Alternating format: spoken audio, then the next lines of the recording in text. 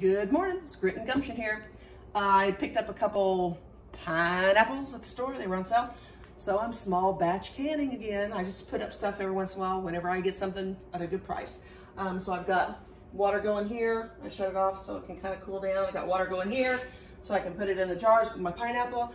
I'm gonna cut up my pineapple and take out all these eyes and this one too. It's real easy to do. You get these, you just kind of take it and you twist the top off. I cut the top off, cut the bottom off, and then start on the sides. We'll be back when I'm done.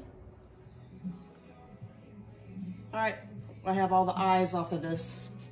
And you wanna cut around the outside here and get the core out. And I had one of these uh, pineapples that I didn't feel was in good enough shape to be canning, so needless to say, I got rid of it. so,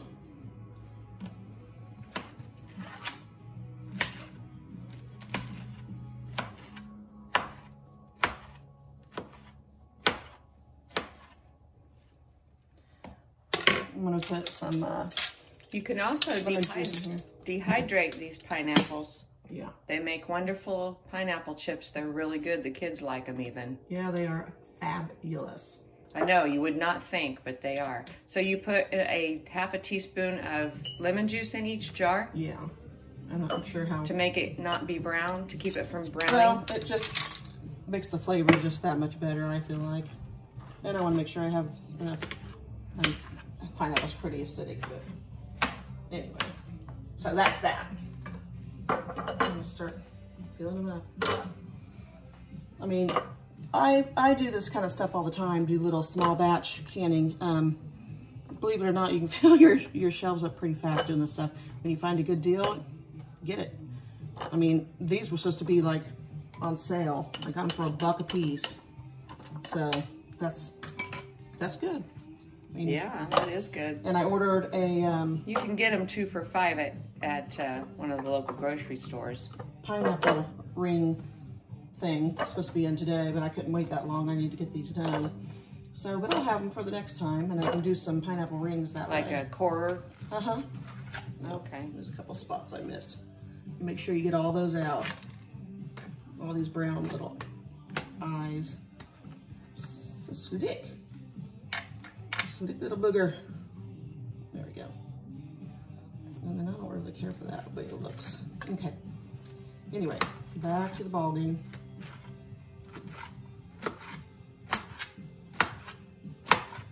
And it might only end up being four jars but that's four jars I didn't have before, and it's two dollars worth of pineapple, which is a lot better than when you buy it at the store. And it will keep you from getting rickets or scurvy. Heck yeah, man. so, I'll fill up the rest of these jars, and we'll get back to you. All right, I got them all chopped up, and they are in their jars. Supposed to leave about a half inch headspace. So we're filling them up with hot water.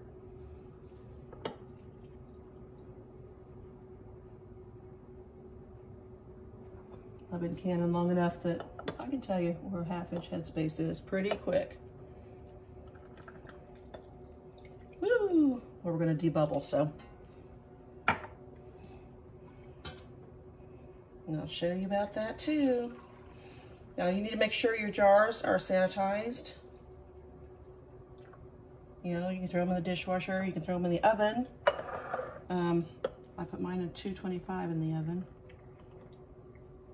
And then you just keep them in there until I'm ready to put stuff in them when I'm uh, doing hot stuff. And this stuff I just put in there cold. Okay, I'm gonna see, get my debubbler. I'm just gonna go down in here like this. There's all kinds of bubbles coming up. I'm gonna do that on all of these.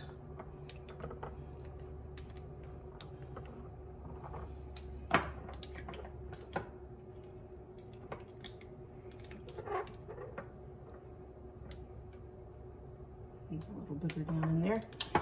Get all the bubbles out. See all those bubbles coming up. Last one. Bubbles, bubbles, bubbles. Okay. All right. And just a little bit more water. Right there. Right there. There. There. And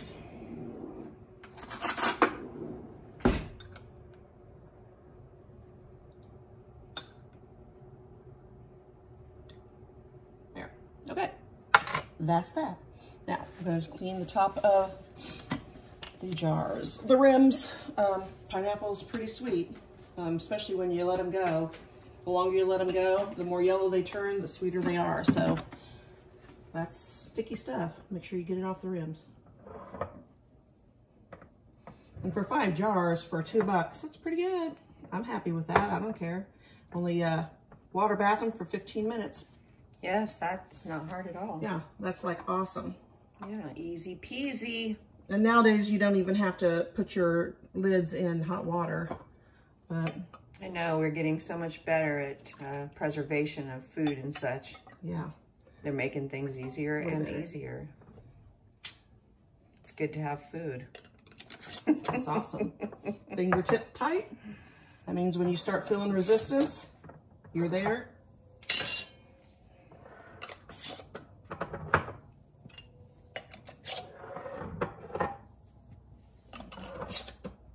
All right, I'm gonna add this hot water to that hot water.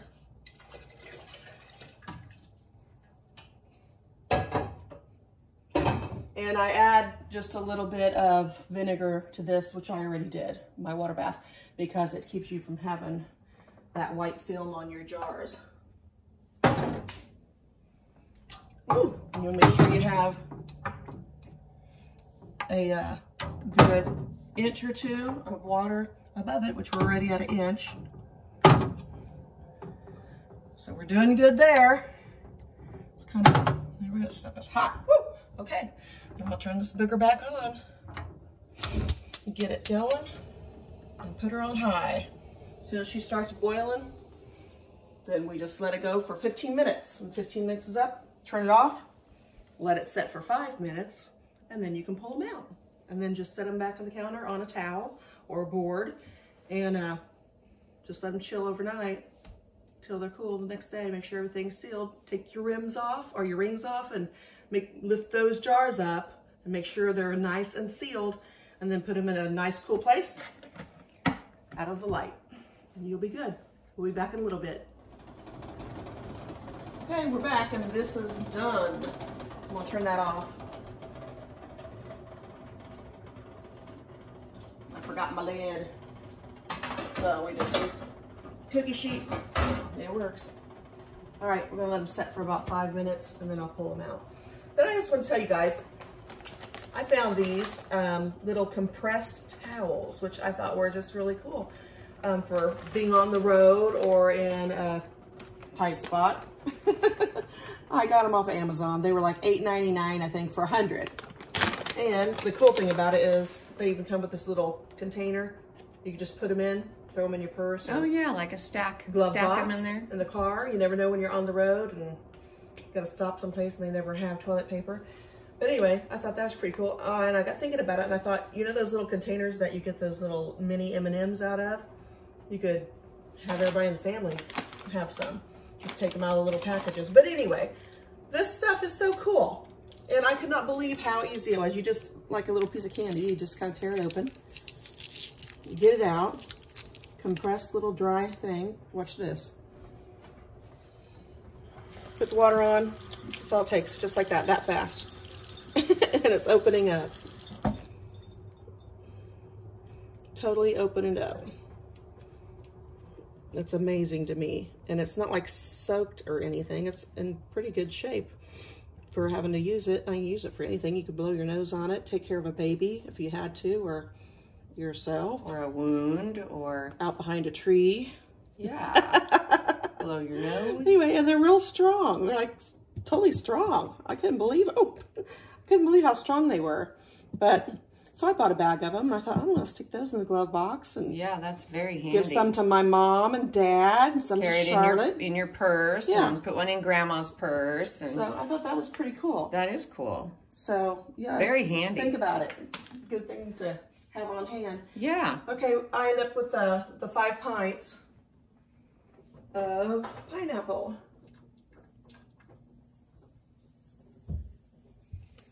So five pints for two bucks. Can't get that in the store. No. So And no chemicals. no chemicals. A little lemon juice. That's it. Water and lemon juice. I didn't even put sugar in this. I don't like to have sugar. These are sweet enough on their own. I mean, they were very ripe. They're ready to go. They're they're pretty sweet on their own. So there you go. Just something else you can put on the shelf for nothing. I do a lot of these small batches.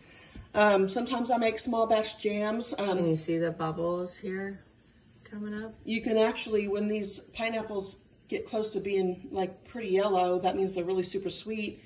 And that, and just some, some sugar can make you some jam. You don't need pectin even.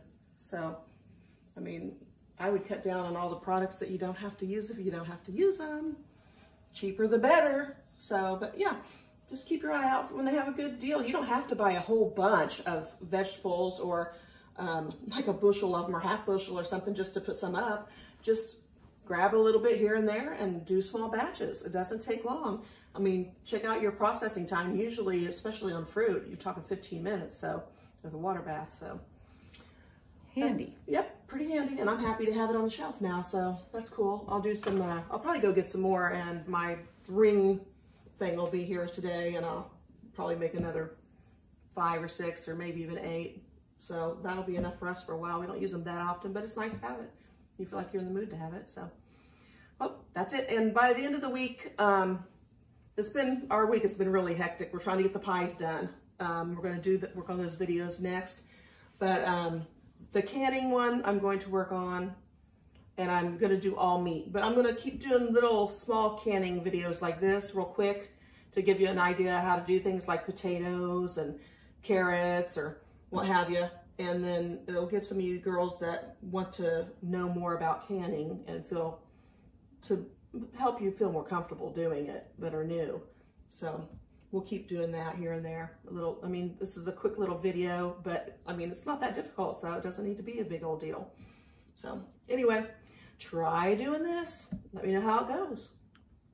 And don't forget, subscribe, ring the bell, um, give us a thumbs up if you like the video. If you got a comment or a question, give us a little write down on the comments and we'll get back to you. Take care.